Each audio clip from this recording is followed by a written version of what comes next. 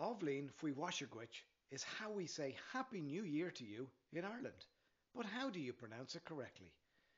Break it into its words and syllables. The first word is Athbhlian, pronounced ah and vlin, Offlin. The second word is Faoi, pronounced Fui. The third word is Mhaise, pronounced wash and ah, Washa. And the last word is Dhuit, pronounced Gwitch.